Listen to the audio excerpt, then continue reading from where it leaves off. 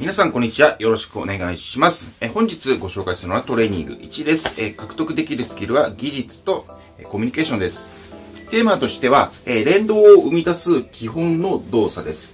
で、えー結構基本的なこう言葉を並べているんですけども、まあこんなの知ってるよっていう選手も多いかもしれないんですけども、いざやってみると意外とできてなかったり、えーその、なんですかね、形はできてるんですけども、そのコツが分かってなかったり、なぜそれをするのかが分かってなかったりなんてことはよくあるかなと思います。よく、あの、知識とかって、経験とかスキルっていうのは、まあ、まず知ってることから始まって、それがまずできるようになって、で、それを人に教えれるようになって初めて自分のスキルなんてことを言ったりしますが、あの、知ってるだけでも、まあ、うまくできてないっていう選手がいたりすることもあるし、そして意外と知らないって選手もいるかもしれないので、まあ、基本的なところも、あの、ちゃんと伝えてあげるってことが大切かなと思います。では、えー最初、えーまず、マークを外すということですが、えっ、と、一つ目はチェックの動きです。えーで、え今回、実践編では、まあ、こんな感じで、ピンクの選手がスローインをしますと。えその時に味方が、まあ、二人いますと。えーまあ、最初は一人だったかな、えーっていうところで、えー相手の守備の選手がここにいますという中で、相手、えー守備の選手を外してやりましょうという動きになっています。でチェックの動き、まあ、チェックの動きっていうと、まあ、0点チェックなんて、えっ、と、アンケートとか書くときにピッピッてやりますけども、まあ、その動きになります。えーこの選手が、えースロワーの方に近づくと、近づいて、相手の選手もついてくると。ついてきたなっていう瞬間に前に走り出すことによってフリーになるという動きになります。で、えーここで大切なのは、えーチェックの動きは予備動作ですね。この予備動作。本来自分が行きたい方向とは違う方向に体を動かすっていうこの予備動作。この予備動作はある程度こう大きくゆっくりっていう感じから、えー正しい方向に行きたいっていうところでスイッチを入れて素早く動くというところです。えもう一つのチェックの動きとしては、えーまあ、今の逆ですね、えー縦に行くぞと見せかけて一回戻るという形ですね。ここで少し引き離してあげるという形をとっています。続いては、プルアウェイになります。まあ、引っ張って、えー外へっていう感じですね。これはまあ、チェックの動きを横にしたぐらいな感じでも構わないと思うんですけども、内側に予備動作を入れることによって、相手ディフェンスを、ディフェンダーを内側に引っ張ると。そうすることによって外側のスペースができるので、そこを使うという形です。で、このプルアウェイっていう動きの中で、その次にこう、ウェーブっていう考え方も同時に入れていて、ウェーブっていうのは、この地点からこの地点に行きたいなっていう時に、まっすぐここに向かっていくのではなくて、少し遠回りをしていくっていうことです。で、この遠回りをしていくことによって何が起きるのかっていうと、徐々に体の向きがこう変わっていくってことですね。えーまっすぐ行こうとすると体の向き外側向いてしまうので、えー次のプレーが遅くなってしまうと。ボールが来てからやっぱり速いプレーをしたいので、えー体の向きを変えながら、え行くというところです。で、このウェーブの動きの時に、あの、選手に分かりやすい、え表現として、スロワーからボールが出るときに、えこのボールを体の右側でもらうと、え当然体の向きが右側に向くので、え線の外にボールが行ってしまうと。そうではなくて、このボールを体の左側でもらうと、えー体の向きが内側に入るので、えーゴールを狙えられると。で、このボールを左側でもらうためには、やっぱり一回回り込まないといけない。ウェーブの動きを使わなくちゃいけないということですね。まあ、ウェーブしろっていうよりかは、えーどっちからもらった方が、え楽かなって言ったところの方が、えっと、まあ、伝わりやすいかもしれません。続いてスクリーンですね。マークされてる選手に対して、えー、この選手が、まあ、本当は前に行きたいんで、あと、味方のこの二人の中だったら前にいる選手、こっちがボール持った方が前に進めるかなというところなんですけど、まあ、相手選手がいるので、この選手が行くよりも、この選手がこっち側に動くことによって守備が動きますと。そうすることによって、ここにスペースができますと。本来使いたかったスペースができますと。いうところで、このスペースに向かって走ることによって、えー、スペースを作る選手と使う選手という形になっていくというところです。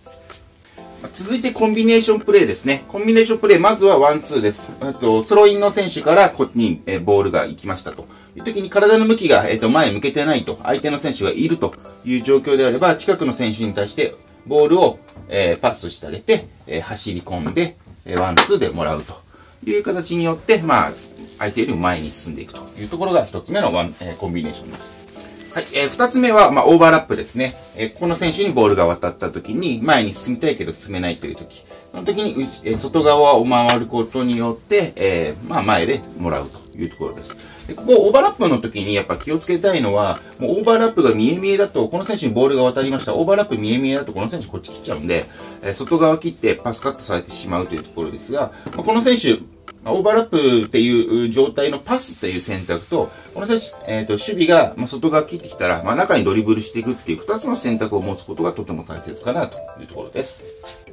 はい、えっ、ー、と、最後、スルーパスなんですけど、まあ、縦に走った選手に対して出してあげるっていうだけってはだけなんですけども、この時の動きとしてはボールもらいましたと。で、この横の選手が、えー、まあ、斜めの動き、ダイアゴナルな動きを入れてみようというところを話しています。で、えー、この選手、えー、ダイアゴナルに動いたときに、まあ、少しスペース、えー、相手の守備の選手を引っ張っていきたいので、まあ、少しドリブルとして少し横に動かして斜めに出してみようなんていうところも話しています。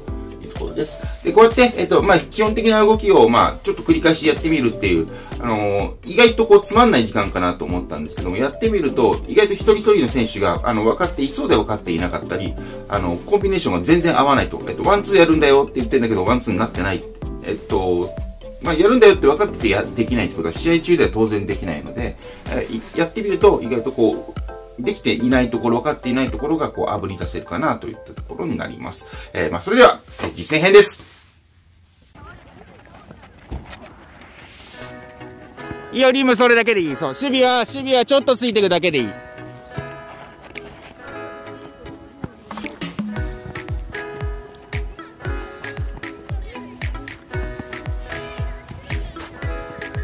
ここそんな4人も並んでも投げるの4番目まで何分かかる？向こう空いてるよ。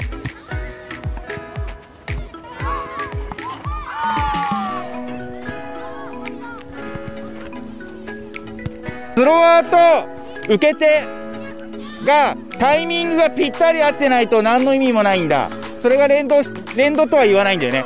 走って、ああ、走ったんだ、へーいって投げるのは連動とは呼ばなくて、さっきこの状態で近寄ってごらん。近寄って、さあ走るぞって走った瞬間に、ミーはそこの瞬間に腕を振り上げたんです。そうすると0.5秒遅いんだよ。走ったっていう瞬間この瞬間にディフェンダーからほんのちょっとだけ離れる。そこを狙わなくちゃいけないから意識してじゃあやってみようか。そうこのタイミング。そうするとディフェンスは一瞬置いてかれるよね。はいそれを意識してもう一度続けましょう。ちょっと遅いな。まだ遅い。まだ遅いよ。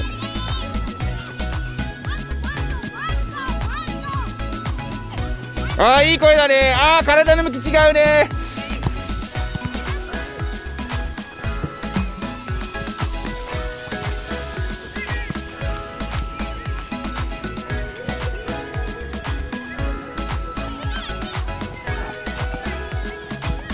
投げる方のパーツの質悪いな。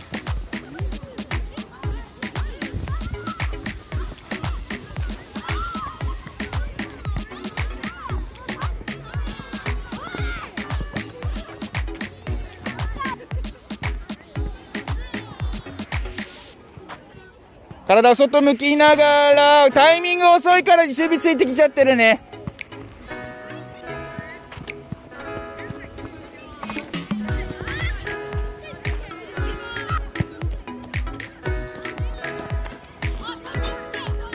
そうそうそうそうそ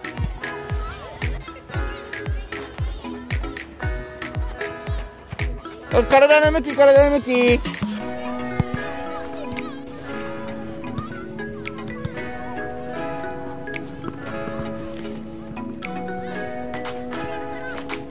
さっきのウェーブの動き体外側向いたらできないね。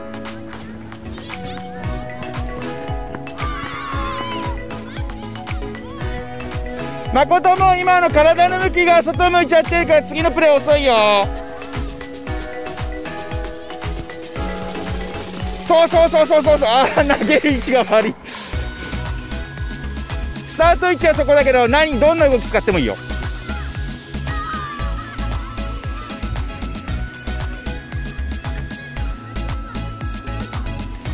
ついてこついてこついて10秒間一生懸命守備するんだよはい取られちゃったはいおしまい取っていいよ取って取っていいよさあここで最初の2対1の練習生きてくるねどんな角度にいればいいかな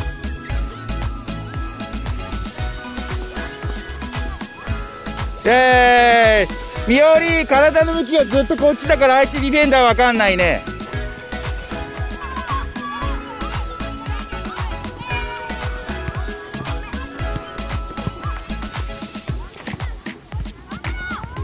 はい、わかった。じゃあ、ごめん。もう一個ルール追加します。えーと、スローは、えー、投げた後、ワンタッチだけしていい。スローにボール返してもいい。ただし、えっ、ー、と、1回しか触れない。ダイレクト。はい。やってみよう。これ立てそう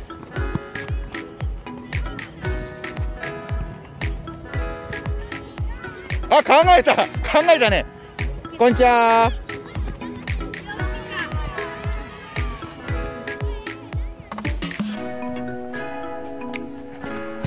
あ体の向き。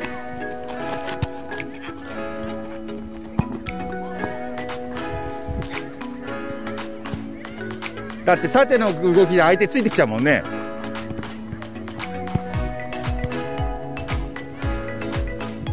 はい。まあいいや。ワンツーがありました。でえっ、ー、とオーバーラップ使うためにはミンミュー。一回キープしてドリブルを内側にやってみよう。もう一回やってみましょう。キープして内側にやる外に出す。そうするとスペースできるね。OK いいよ。当たり当たり当たり。耳が当たり。そうそうそう。っていうのもあるね。はいじゃあそれをイメージしながらやってみましょう。まずマークを外す動きを入れてみよ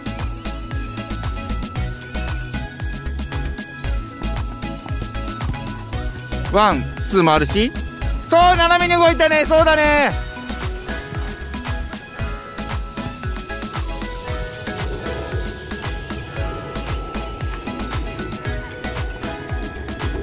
そうワンタッチはできる。そう。から。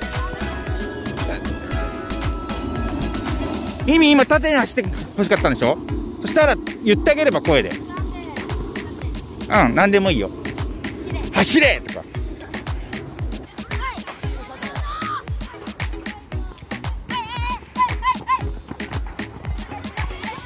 斜めな下 はい、おしまー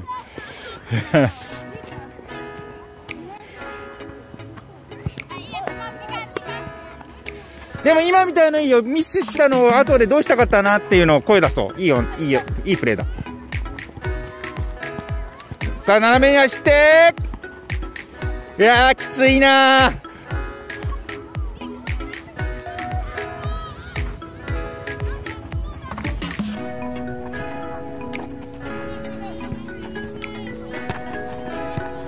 そうそこでもらえばいいよ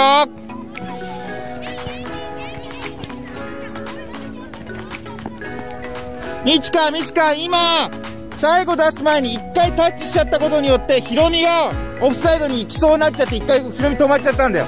ヒロミの走ってる位置からすればダイレクトだったね今の。でヒロミはそれ声出さなきゃダメだね。声出すともらえる。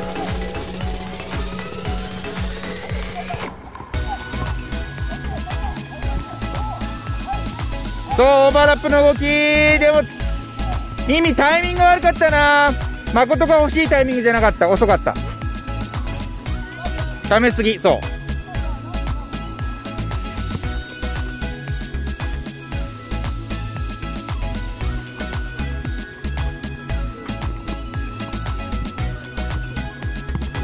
そう OK ちょっとだけちょっとだけずれてたね。最後まで見ていただきましてありがとうございます。よければ、チャンネル登録、いいねボタン、お願いします。動画作りの励みになります。また、え、コメント欄に、え、質問だったり、え、リクエストだったり、えこんなことを聞いてみたいなってことをぜひぜひたくさん書き込んでください。え、動画作りのネタにします。それでは、またお願いします。